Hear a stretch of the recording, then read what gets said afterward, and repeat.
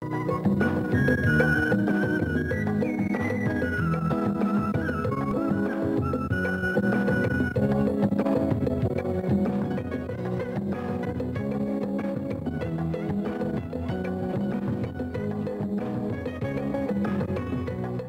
mục khuyến nông xin chào bà con nông dân và các bạn.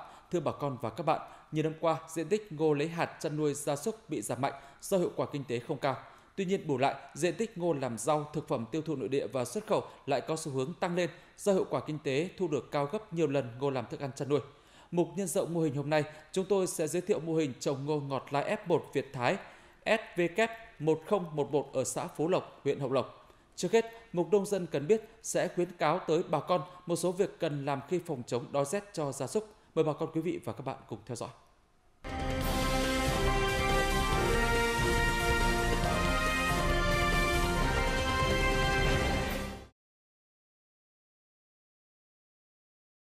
Năm nay, đầu mùa đông, phần lớn thời gian đều nắng ấm, nên bà con nông dân có tâm lý chủ quan, thiếu chuẩn bị trong khâu chống rét cho gia súc gia cầm. Khi rét đậm rét hại kéo dài, thiệt hại do gia súc, dịch bệnh và chết đói chết rét là rất lớn, đặc biệt là đối với khu vực miền núi. Bởi vậy, các địa phương và bà con nông dân cần chủ động áp dụng các biện pháp chống rét, bảo vệ châu bò. Đối với chuồng trại thì bà con cần kiểm tra gia cố lại chuồng trại, mái mái chuồng, tường bao quanh để đảm bảo nền chuồng luôn khô ráo, sạch sẽ, không bị mưa hát gió lùa vào chuồng. Đối với đối với vùng miền núi thì chính quyền địa phương cần tuyên truyền vận động bà con làm chuồng để tiến hành uh, di chuyển đàn châu bò ở trong rừng chống rét cho đàn châu bò vào mùa đông. Đối với các cái nguyên vật liệu để chống rét cho đàn châu bò thì bà con cần chuẩn bị các loại dơm dạ, cỏ khô để lót chuồng, chấu, củi để sửa đốt ờ, các các loại bao tải, mặc áo làm chống rét cho đàn vật nuôi. Ngoài ra còn chuẩn bị các loại phên, nứa, bao tải để che chắn chuồng trại xung quanh vào những ngày rét đậm rét hại. Đối với thức thức ăn thì bà con cần giữ trữ các loại thức ăn thô xanh và tận dụng cái nguồn nguyên liệu phế phụ phẩm nông nghiệp. Ngoài ra ngoài ra bà con cũng cần giữ trữ thêm ờ, các loại thức ăn tinh như là cám gạo, bột ngô, à, thức ăn hỗn hợp để bổ sung thêm cho đàn cho bò nhằm nâng cao cái chống rét trong những ngày rét đậm rét hại. Trong quá trình nuôi luôn đảm bảo nền chuồng luôn khô ráo, sạch sẽ, thường xuyên bổ sung hoặc thay mới chất độn chuồng như rơm dạ có khô cho cho bò. Đặc biệt là cần quan tâm đối với đàn bê ngó con theo mẹ.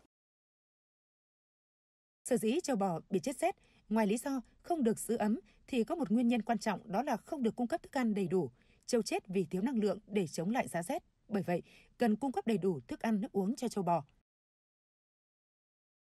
Về thức ăn thì bà con cần cung cấp đầy đủ thức ăn thô xanh với lượng 10% trọng lượng của đàn châu bò. Ví dụ đối với một con bò thì khoảng 300 cân thì bà con cần cho ăn là 30 kg thức ăn thô xanh.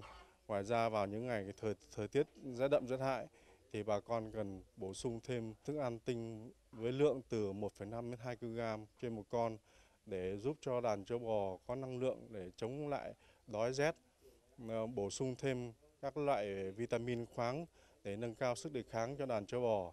Đối với nước uống thì bà con cần cung cấp đầy đủ nước uống sạch vào những ngày rét đậm rét hại thì bà con nên cho uống nước ấm và hòa thêm một chút muối. Những ngày nhiệt độ xuống thấp, bà con cần nuôi nhốt châu bò hoàn toàn và có chế độ chăm sóc đặc biệt. Ngoài giữ ấm, cung cấp đầy đủ thức ăn, cần thực hiện tốt các biện pháp phòng dịch bằng công tác thú y.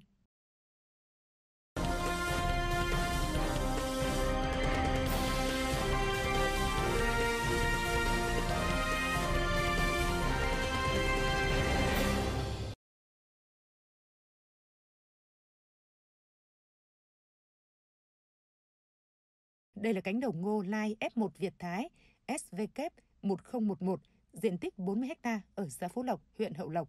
Hôm nay, bà con nông dân phấn khởi tập trung thu hoạch để bán bắp tươi theo hợp đồng bao tiêu sản phẩm đã ký kết từ đầu vụ. À, gia đình nhà tôi là đang trồng giống ngô Việt Thái.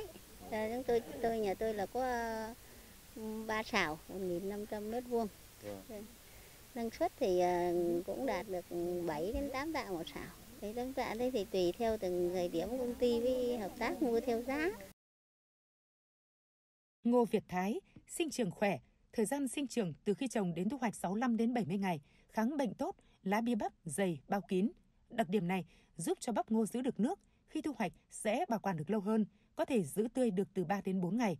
Bắp ngô to, hạt sâu cay, xếp kín đến tận đầu lõi, trung bình 400 đến 600 g một bắp. Vì ngô ngọt thu hoạch khi chưa chín nên ngoài sản phẩm bắp non còn thu hoạch được cả thân lá tươi để làm thức ăn cho bò. Đặc biệt, thân lá của ngô lai F1 Việt Thái xanh tươi đến tận khi thu hoạch nên trở thành phụ phẩm được người chăn nuôi đại gia súc thu mua. Thinh lá thì à, thinh thì nhà nào có bò thì để cho bò ăn, còn không thì các họ đến họ mua. Họ, nơi họ chăn nuôi họ đến họ mua hoặc là họ đổi bằng phân à, trùn quế, xào cây thì đừng tạ phân. Giống ngô lai F1 Việt Thái SVK1011 được đưa vào Thanh Hóa khảo nghiệm từ năm 2013. Năm 2015 trở thành giống thương mại sản xuất đại trà. Đến năm 2021, tổng diện tích trồng ngô Việt Thái tại Thanh Hóa là 500 ha trồng với tổng sản lượng hơn 7.000 tấn sản phẩm. Xã Phú Lộc là một trong những địa phương có diện tích trồng ngô ngọt lai F1 Việt Thái khá lớn. Hợp tác xã Dịch vụ Nông nghiệp Phú Lộc vừa là cầu nối giữa nông dân và doanh nghiệp, vừa là đơn vị tổ chức cho bà con sản xuất và tiêu thụ sản phẩm theo hướng ổn định và bền vững.